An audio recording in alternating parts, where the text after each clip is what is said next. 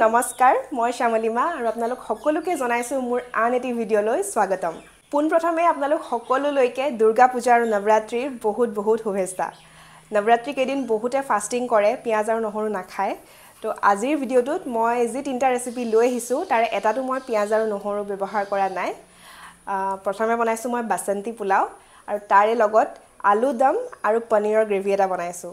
তো আহক আজিৰ ভিডিঅ'টো আৰম্ভ কৰোঁ।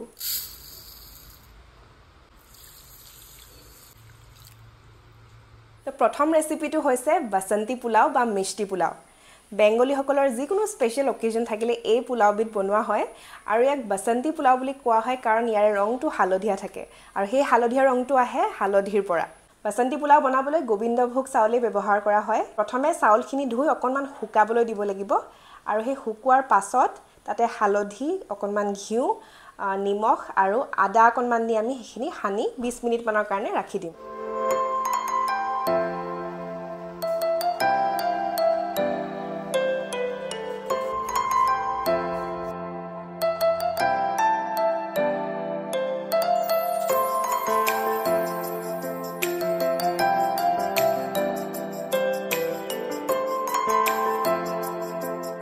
চাউলখিনি সানি ল'লোঁ এতিয়া পোন্ধৰ বিছ মিনিটমানৰ কাৰণে ৰাখি দিছোঁ।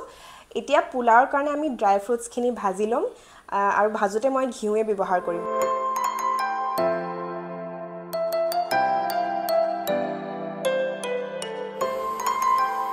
এতিয়া প্ৰথমে কেৰাহীত ঘিউ গৰম কৰি তেজপাত গোটা গৰম মছলা দি চাউলখিনি ভাজি ল'ম।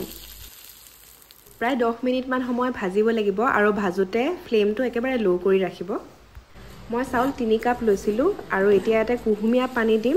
প্ৰায় আঢ়ৈ গিলাচমানেই মই পানী দিছোঁ। এতিয়া ঢাকন লগাই প্ৰায় পোন্ধৰ মিনিটমানৰ কাৰণে পোলাওখিনি সিজিবলৈ দিম। পোলাওখিনি ভালদৰে সিজাৰ পাছত ইয়াতে চেনি তাৰপাছতে ভাজি লোৱা কাজু বাদাম আৰু কিচমিচ আৰু কেইটামান কেঁচা জলকীয়া মই ফালি দি দিছোঁ। তো বাচন্তি পোলাও আমাৰ ৰেডি হৈ গ'ল। এতিয়া বনাই লওঁ আহক আলুৰ দম। একচুৱেলি বাচন্তি পোলাওৰ লগত কচা মাংস যোনটো কম্বিনেশ্যন হয় সেইটো বেছি ভাল লাগে। কিন্তু আমি যিহেতু একদম ভেজ ৰেচিপিজ বনাই আছোঁ সেইকাৰণে আলু দম আৰু মই পনীৰ বনাইছোঁ আৰু আলু দমটোত মই বিলাহীও ব্যৱহাৰ কৰা নাই দৈৰ সৈতে বনাইছোঁ আৰু লগতে কাজু আৰু মগজৰ এটা পেষ্ট দিছোঁ।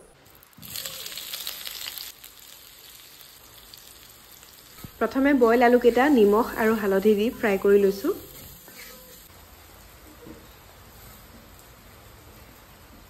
এটা বাতিত জলকীয়াৰ গুড়ি জিৰা গুড়ি ধনিয়াৰ গুড়ি জালুকৰ গুড়ি আৰু হালধি অলপ পানী দি মিলাই ল'লোঁ।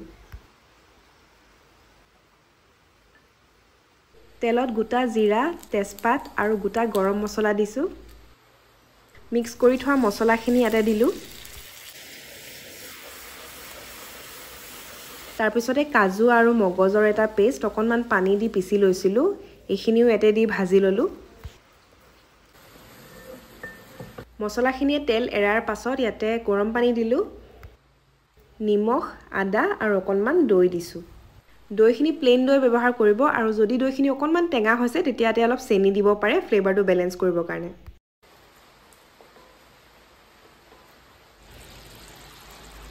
অলপ গৰম মছলা আৰু কেঁচা জলকীয়া কাটি দিছোঁ আৰু নমোৱাৰ আগে আগে অকণমান ঘিউ দিছোঁ।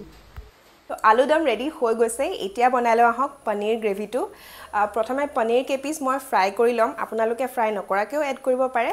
আৰু ফ্ৰাই কৰোঁতে জাষ্ট নিমখ দিয়ে মই ফ্ৰাই কৰিম হালধি নিদিওঁ।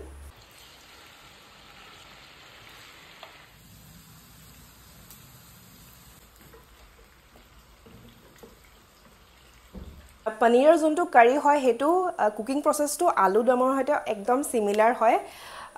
খালি ইয়াতে মই বিলাহী বিলাহী ব্যৱহাৰ কৰিছোঁ আৰু আলু দমটো দৈ ব্যৱহাৰ কৰি আছিলোঁ। বাকী যোনখিনি মছলা মই এনেকৈ প্ৰথমে গুলি পিনে দিম সেইখিনি ছেইম প্ৰচেছ হয়। তো সেইকাৰণে ভিডিঅ'টো মই আকৌ এবাৰ এড নাই কৰা। মছলা ছেইম থাকিব। তেলত তেজপাত গোটা জিৰা গোটা গৰম মছলা দি মছলাখিনি ভাজি ল'লোঁ। বিলাহীৰ পেষ্ট দিছোঁ। লগতে মগজ আৰু কাজু বাদামৰ পেষ্ট।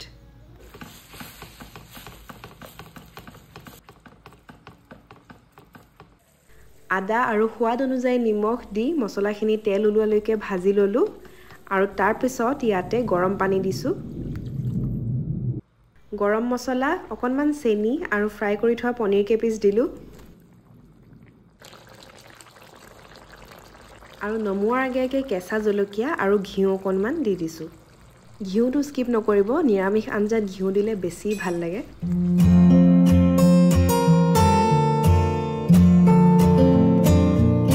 আমাৰ আজি তিনিটা ৰেচিপি ৰেডি বাচন্তি পোলাও আলু দম আৰু পনীৰ গ্ৰেভি এতিয়া অকণ টেষ্ট কৰি চাওঁ।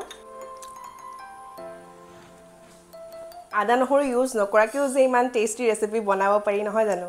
আশা কৰোঁ আজি ৰেচিপিকেইটা আপোনালোকে ভাল পালে আৰু আপোনালোকে যদি ট্ৰাই কৰে মোক জনাবলৈ নাপাহৰিব কেনেকুৱা পালে? পুনৰ লগ পাম আপোনালোকক আন এটি নতুন ভিডিঅ'ত আজিলৈ আহোঁ নমস্কাৰ।